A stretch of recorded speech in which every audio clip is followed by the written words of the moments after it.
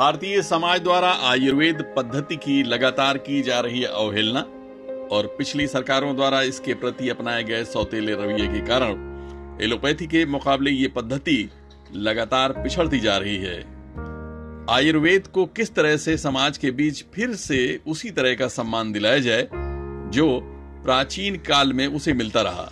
इसी विषय को लेकर वर्तमान संदर्भ में आयुर्वेद के विषय से एक परिचर्चा का आयोजन किया गया, जिसमें आयुर्वेद, योग और आध्यात्म जगत की बड़ी हस्तियों ने हिस्सा लिया।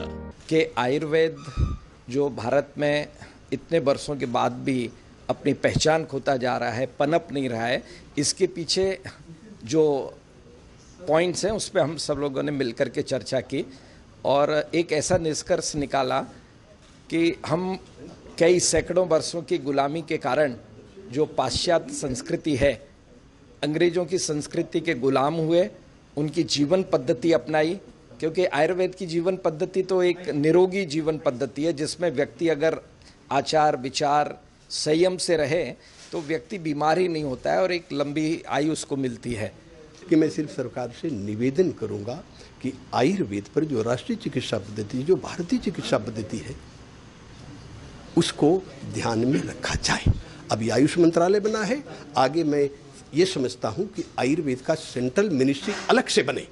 मैं ये चाहता हूँ। और अभी डब्ल्यू एच ओ के अंडर जैसे लोपेस काम कर रहा है, मैं चाहता हूँ कि आयुर्वेद का डब्ल्यू एच ओ बने और बनने की का सिस्टम चालू हो गया है।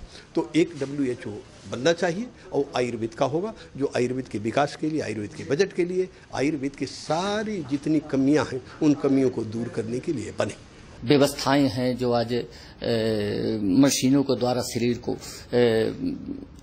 चिप किया जाता है पूरा है, इससे विपरीत असर पड़ता है शरीर के ऊपर। हमारे नाड़ी विज्ञान के द्वारा शरीर के सूक्ष्म से सूक्ष्म बीमारियों को पाया जा सकता है, उसका निदान होता था।